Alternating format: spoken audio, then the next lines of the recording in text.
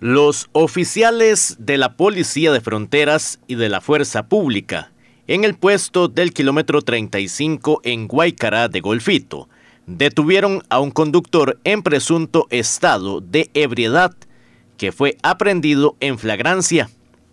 Se trató de un sujeto quien fue detenido cerca de las 10 de la noche del sábado, luego de que los oficiales recibieran una alerta por parte de otro conductor acerca de que un sujeto que iba proveniente desde Puerto Jiménez hacia Río Claro y que estaba conduciendo de manera extraña, al realizar movimientos tipo zigzag, lo cual implicaba que en algunos trayectos del camino invadiera el carril contrario. Los oficiales ubicaron el vehículo con las características indicadas en la alerta en el puesto del kilómetro 35.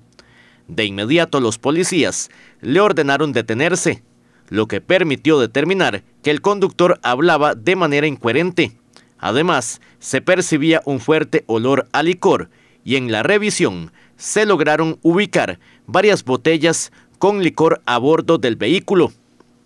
Por tal motivo, el sujeto fue aprendido en ese momento y tras realizar coordinaciones con la policía de tránsito, un oficial de ese cuerpo policial le practicó varias pruebas de aliento, las cuales arrojaron valores más altos de lo permitido por la ley.